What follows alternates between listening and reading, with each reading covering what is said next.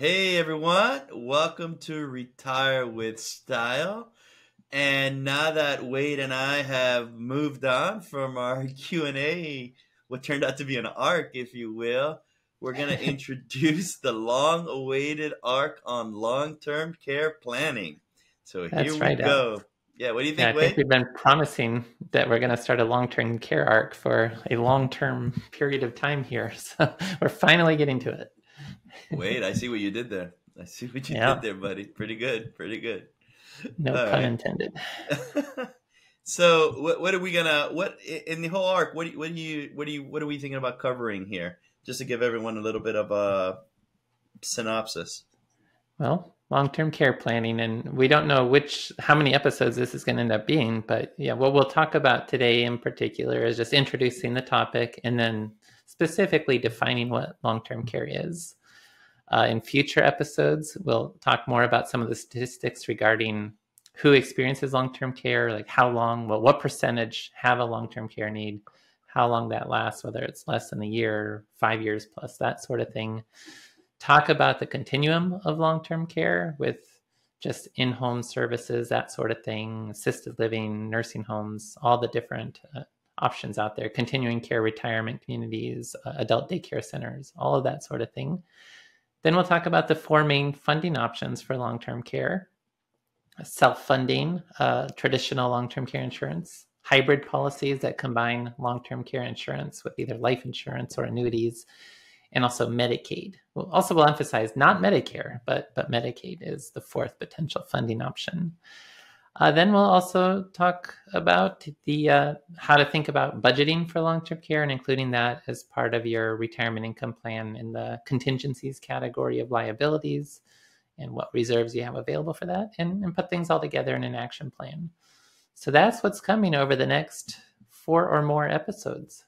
And we may have some special guests along the way Yes, Right. hopefully we will. We we have not reached out to individuals at the time of recording now, but hopefully that will Yeah, align. they're not well. gonna say no to you they're not gonna say no to you use your turn on that charm that foul charm That's right. they'll, they'll be getting in line no no that's nice and and but first but first anything new it's been a while since we've been like live here One uh, week. One week.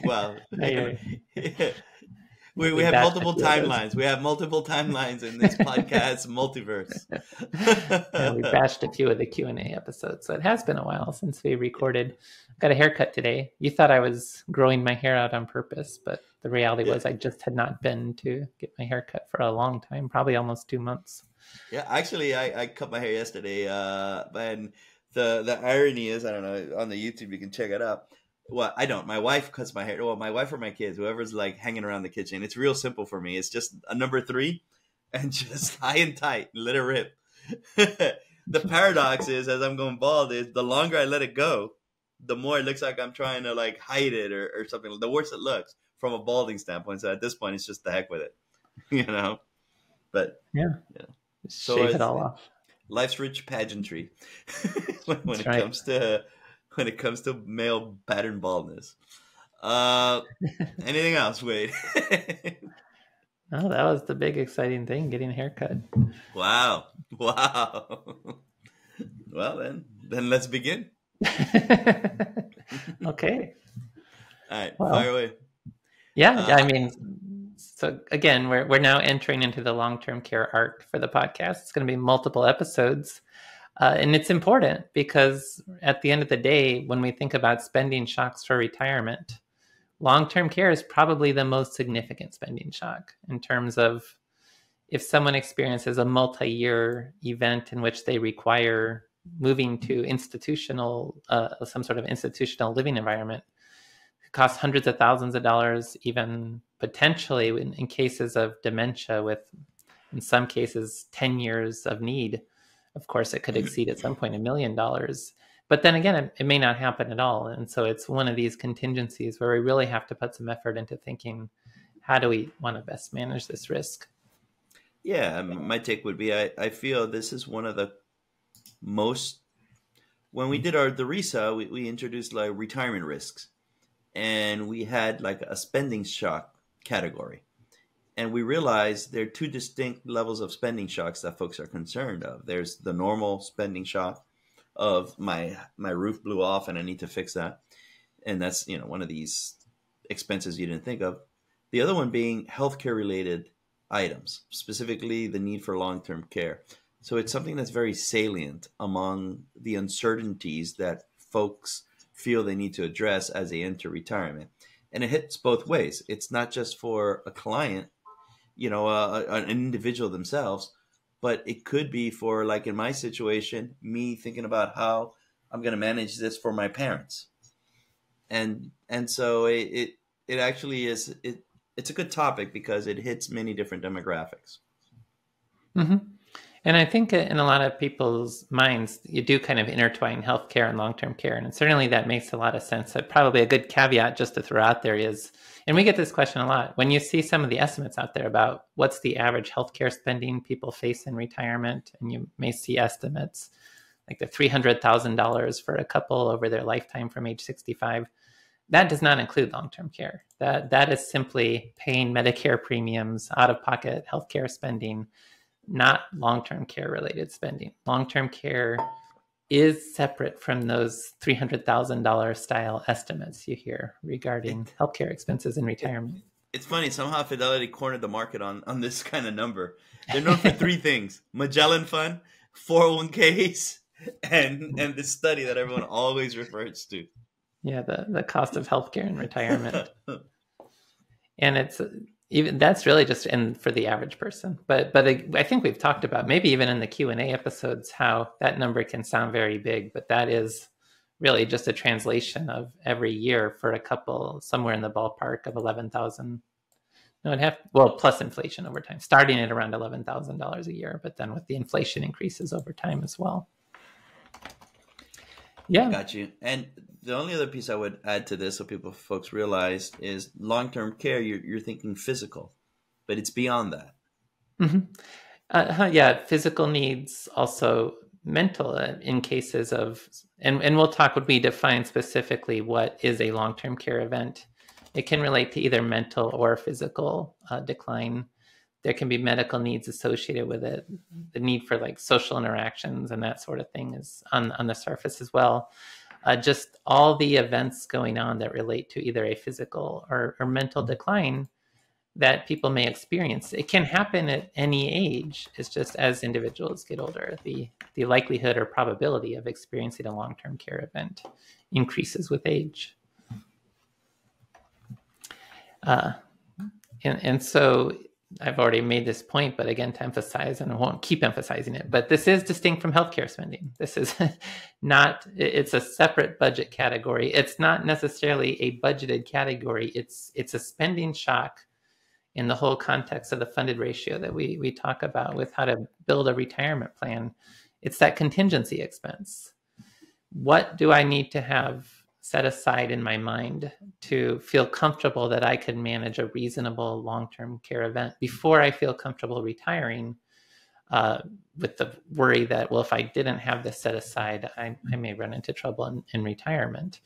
And so it's ultimately, if you end up not having a long term care event, probably those funds are going to translate into part of the legacy at the end. But what do you need to really have set aside so that you could manage a reasonable long-term care event as you define as reasonable and, and we'll talk more about what that is too when we talk about budgeting for long-term care.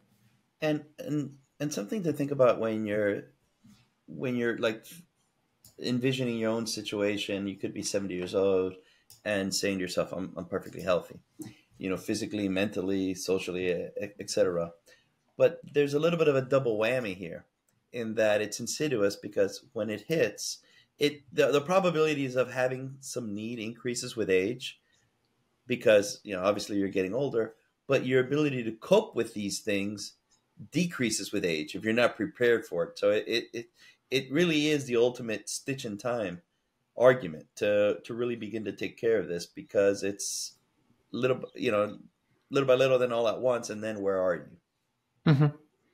yeah absolutely. Like if you need long-term care assistance it's quite possible that that will be a period in your life where you really can't be managing how to take care of all that, how to find the care that you need. uh, how to arrange the finances for that, and so forth. And so it's something you want to plan for uh, well in advance. Absolutely. Okay. Uh, an expensive long-term care event could derail a well-built retirement plan, and that's why really you can't necessarily think you're ready to retire, ready for retirement without having first, as part of the process, considered how you're going to manage long-term care. Okay, and the other piece, just to conclude that, is the range of this can be from zero dollars, you won the lottery, you, don't have a long-term care issue, unless you, you, died in some tragic accident or something like that. But it's zero about a fifty percent chance of that. Um, yeah, about fifty percent of zero. But again, the you know take that for what it's worth. Like get hit by a bus, yes, you don't. Good news is you don't have long-term care.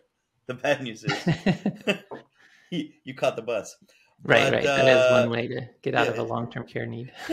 but you know, there's zero, but there's also if you if it is something that hits, you're looking at a big number. And, and, again, it, it can derail it. So I, I can't stress enough. This is something you want to take care of when you don't think you need it, physically at least.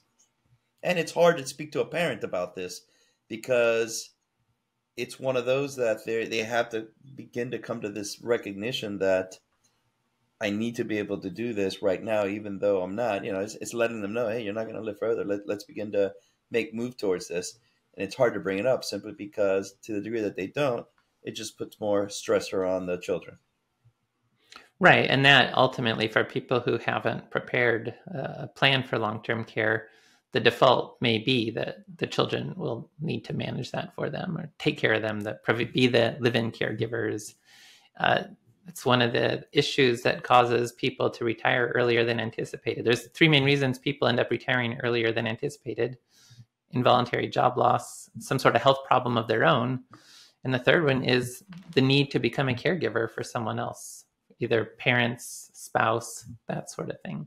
So that does become the default plan in many cases. And if you can plan to not create that sort of burden for other family members, then you may really be glad you've done that should the, the need for long-term care arise. And again, as you can see, we're trying to use this time to stress the importance of this topic. but this is the again, intro. yeah, this is the intro, right? But play the demographics. We're entering peak 65 this year. And that, that effectively is, I, I think the number is now 15,000, right? That the number of people turning 65 every day is 65, it is like something like 15,000 uh, uh, uh, this year. This is going to be the highest it'll be. But the point that I'm trying to make is ultimately people will be living longer. And mm-hmm. so as people live longer, this issue is not going to reduce itself. It's just going to be more. It's going to be exacerbated by the fact that folks are living longer, and you know it, it will be just a normal milestone planning event that is going to need to be taken care of. Yeah, that, that's right. And there's some irony, perhaps, that healthier individuals are more likely to live long enough to need a long-term care help with long-term care. Yeah than unhealthy people who may just simply not make it that long or who may have a that end of life long-term care experience but it, it ends up being shorter rather than longer and therefore less expensive as well. So Wade how many pull-ups are you by now that we're talking about yeah yeah, yeah i'm up to, to, four now in one one try. Okay so now then the question, and, and we'll get into this more with the budgeting, is how much to set aside for long term care.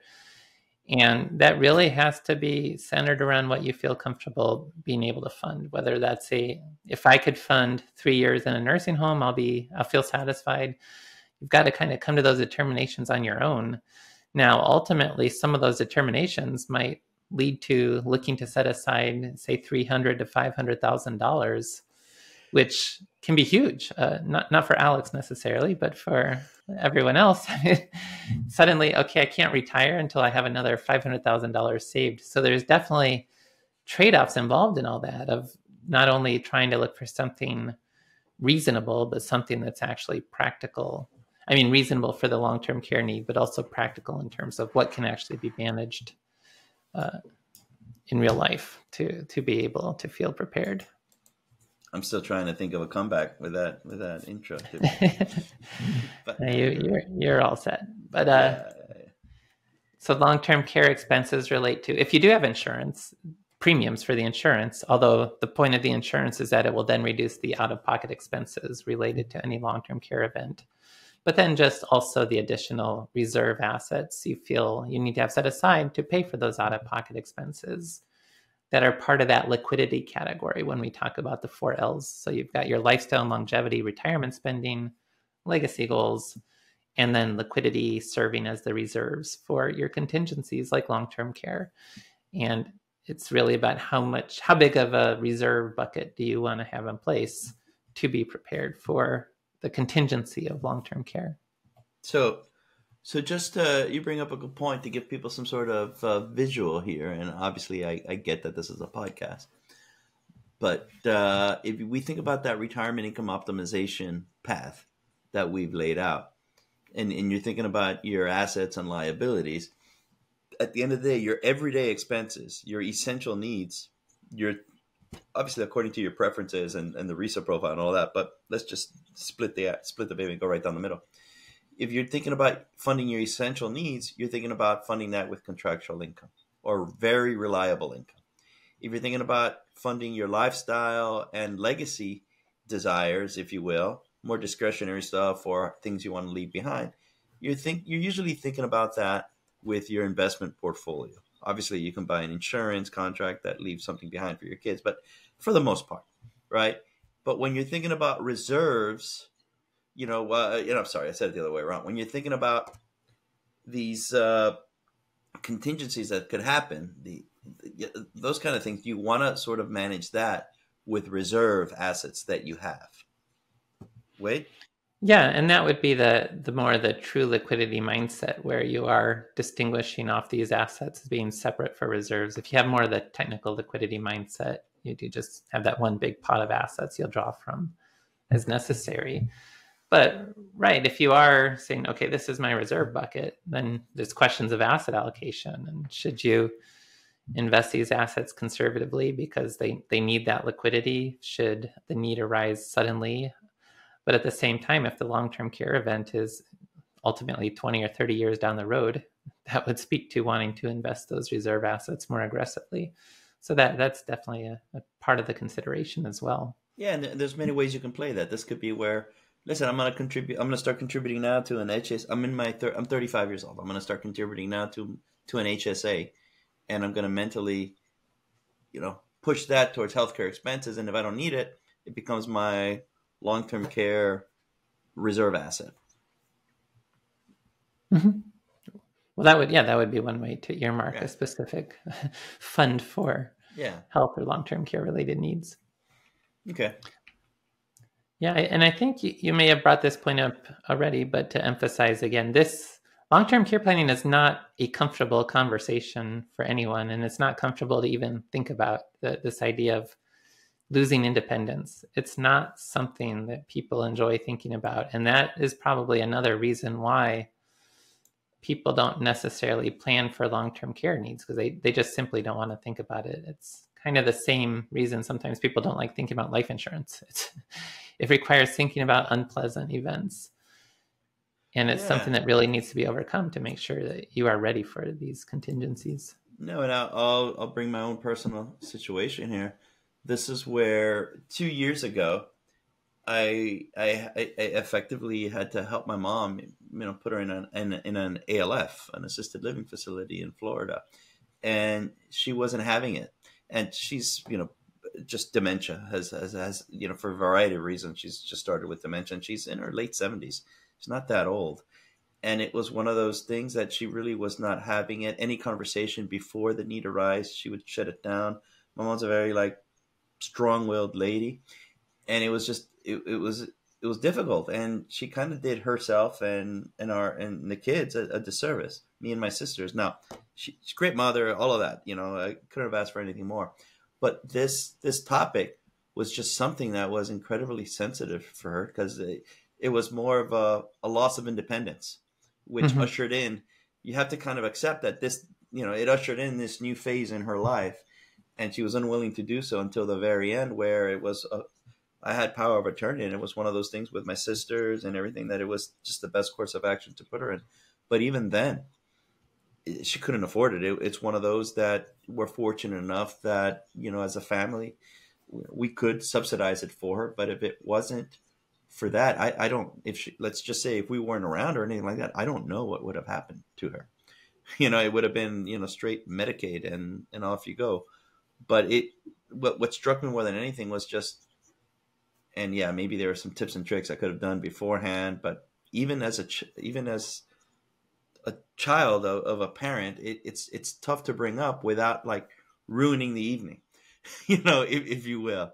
And you know, it, it, it, reached a boiling point where there was just no other choice. And the the choice was made.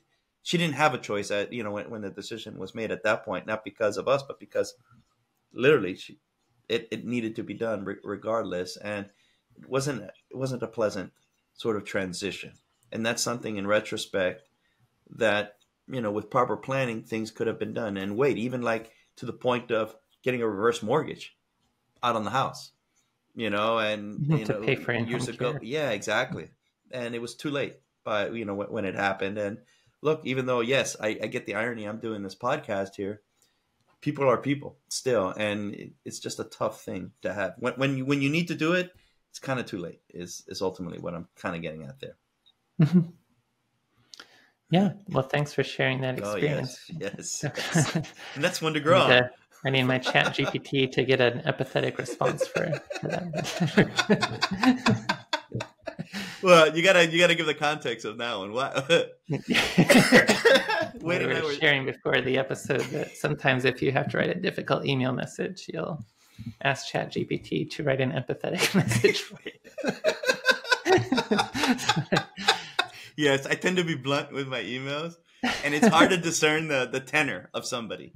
You know, like yeah, I don't mean anything by it. I'm just like to the point sometimes when you're answering emails, business related.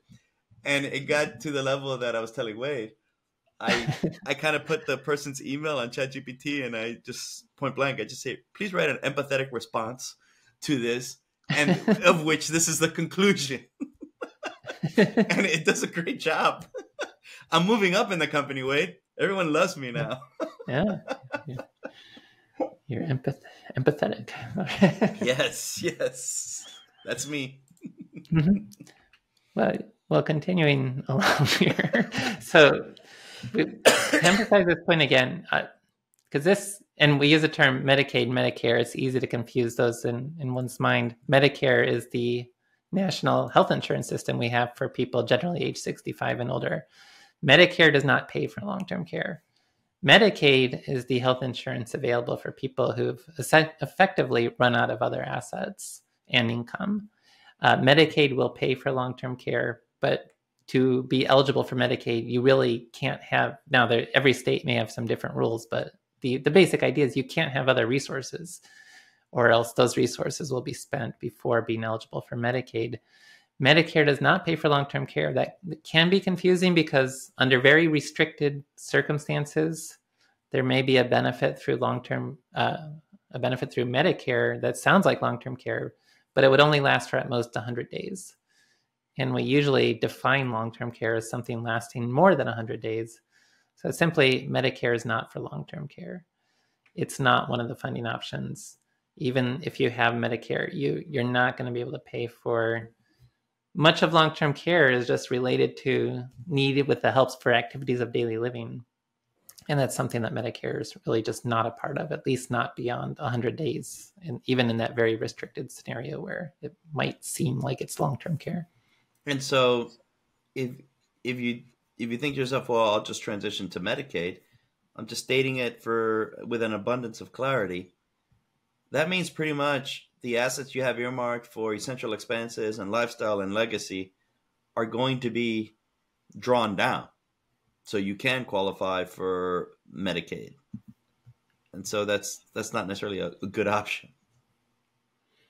Right. And we can talk about this more in a later episode. There's a whole area of Medicaid planning, and every state has different rules. Like there's some assets that don't get counted towards Medicaid and so forth. And so people strategize. So there's a minimum number that you need, uh, 50K, whatever. It depends on the states.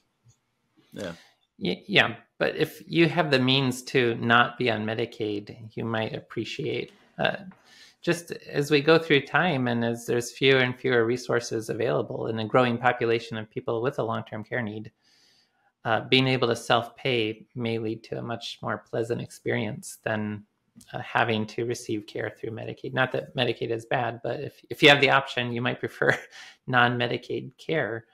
Uh, and even if you were, say, able to protect your house, or again, depending on state, uh, still the state may come after that asset after death so that it's not ultimately getting it out of the, the long-term care pool for your it's not a way to gift to your children in a manner that completely avoids the um, the grasp of medicaid reaching out to be re, uh, refunded as much as possible.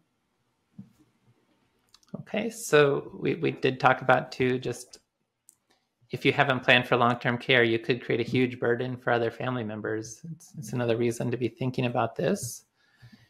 And the default people have always, well, having your children take care of you, just self-funding your long-term care until depleting assets and then transitioning to Medicaid. That that becomes the default for people. And it's really just a matter of is that the right default for you? Do you or do you do you want to use some sort of insurance? Uh, is self-funding a reasonable option? Do you still want some insurance policy regardless? That sort of thing. That's more of what we're going to be getting into in future episodes as well. And that being said, let's now that that was the introduction, but let's just for today's episode define what a long-term care need is. And I think that'll lay a good basis for future episodes. Okay. So what are some of the check boxes you know, what are some of the boxes that uh, when when when you say to yourself you need long term care, you need to be hitting? Mm-hmm. And, and, so specifically, it's it's more like if you had long term care insurance, there's going to be a definition of what is a need for long term care, and it usually relates to the activities of daily living and needing help with activities of daily living. These are ADLs for more than 100 days so that that's again that it has to be long term 100 days or more is how long term generally gets defined in that context but needing ongoing help with the activities of daily living now this yeah. is where those these activities are usually somewhat standardized but if you are looking at long-term care insurance you do have to be careful that uh, they are using the standard definitions around activities of daily living and so forth. Now, wait. So, just because you know we get into the acronyms, ADL is activities of daily living. ADLs. Mm-hmm. A hundred days. I'm just gonna throw some out some some questions out there. A hundred days in a row. A hundred days within a year. A hundred days in a row within a year. That kind of stuff. Oh well, yeah. So that would relate more to the if you have long term care insurance and it has some sort of deductible type period of how how long until the benefits are triggered. Uh, that's where what you're mentioning there could could lead to different answers depending on the rules of the policy. But it's I don't I think just to define long-term care, it doesn't necessarily have to be 100 days in a row, or at least it's not that you're receiving care every single day, seven days a week. Um, it, it's more just how the policy call this long-term care. Yeah. It's it's ongoing, it, and it, it's ongoing for more than three months. That sort of thought process. Okay. And how does that differ from, let's say, my mom well, I just set up the situation, but let's just say my mom is living, you know, she's doing well and she's 80 and she breaks her hip and all of a sudden needs to go somewhere for a while. Mm-hmm. That's the kind of situation where Medicare may help out if it's just a short term recovery period. And there's a n- number of rules around being able to qualify for this benefit, like uh, in a hospital for at least three days in an inpatient care. And then the doctor asserts that you need this rehabilitation um, that's covered through Medicare, and then you go to a facility, a facility that's part of the Medicare world, and, and you have this short-term recovery. That's where Medicare may help with those short-term. But if it becomes long-term, the Medicare benefits end entirely after 100 days. So if you start with that scenario, you break a hip, you're getting short-term rehabilitation hopefully in those kinds of scenarios the need ends before 100 days if the need goes beyond 100 days that's where medicare is no longer part of that and, and there's potentially a handoff to long term mm-hmm. Yes, if you had long term care insurance, Yeah. that's where the, the handoff would likely happen. And if you don't, that's why those are all the warning signs that we flagged earlier in the podcast. If you don't, Mhm. that's where like sands of the hourglass. So are your assets. If you need to fund some something like that. Okay. And the, the financial situation for your other family members who may be called into service to care for you as well. Okay.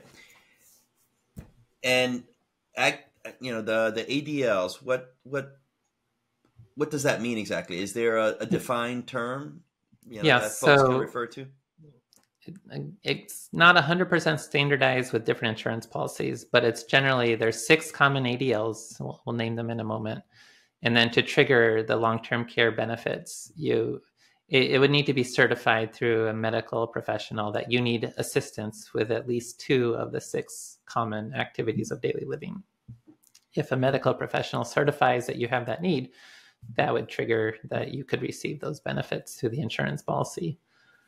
The six activities of daily living include bathing, continence, which is control of bowel and bladder functions, dressing, being able to dress yourself, eating, toileting, using a toilet, and then transferring, such as getting in and out of bed, uh, would be the main issue there if you can get yourself out of your bed or not. So, of those, usually people do need help with dressing and bathing first. And this is just an example of where you, you need to read the fine print in any sort of long term care insurance policy. Bathing, we usually think of as like getting in and out of a, a shower, or, you know, where you may have to step. If if a sponge bath counts as bathing, it's easier to give yourself a sponge bath potentially than getting into a, a bathtub. So you have to make sure that their definition of bathing matches what you think it matches. But again, bathing, continence, dressing, eating, toileting, transferring. Now, If you need help with at least two of those, certified by a medical professional, that would trigger the uh, eligibility for long term care benefits. and that is is two. Would you say two is like the standard, or some policies more than two? I think two is pretty standardized, but that being said, there could be some policies out there that are different. This is now a very important question because I think I'm halfway there, and this is specific to dressing. Now, how does fashion play into this? Because I'm right now in my mohair sweater phase, and my kids are just hitting me up left, right, and center. Does So fashion that's- play into this? I think you're getting into what's known as the incidental activities of daily living. Okay, is, okay. as long as you can dress yourself, Oh, yes, yes. not having the good fashion isn't necessarily. So it has nothing to do with my sartorial taste. It's more my right. abilities to, to dress. Okay, perfect. The ability to get those clothes on. I wanted to make that clear. no, no, no. All right, all right, that's pretty good. And so let me see here. Any other issues? Uh, not from a mental standpoint. Well, I would think these things could affect because we talked about it being perhaps you know beyond just physical. It could be mental incapacities, but you know when when you look at bathing, continence, dressing, eating, toileting, moving around from the bed, I would imagine if there's some mental setbacks, you're gonna have trouble doing a few of those. Yeah, and, and that's so like in the context of having this explicit definition of long-term care for for our own individual purposes, maybe it doesn't matter that much. It's more about what triggers benefits from long-term care insurance policies. So cognitive impairments such as dementia, this is going to really vary by policy.